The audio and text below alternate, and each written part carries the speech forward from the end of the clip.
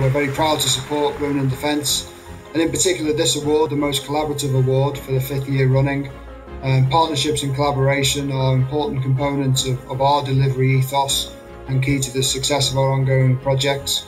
And this award ceremony and the work that Women in Defence do is extremely important for, for raising awareness and, um, and for, for shining a light and providing a, a place where we can promote the benefits of a more inclusive workforce across the whole defence sector.